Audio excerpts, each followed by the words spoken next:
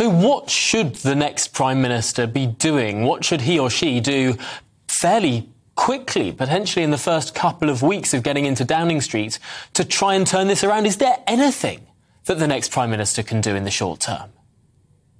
Well, one thing we suggested today was looking at the 44% increase in motor fuel prices, is they could cut 44p from pump prices tomorrow, firstly by cutting fuel duty to 20p from 53p, and then by removing VAT from fuel duty. For some bizarre reason, the government double taxes us every time we fill our cars up. And that would save households about £650 each in the remaining seven months of this financial year, and possibly longer if they retain it.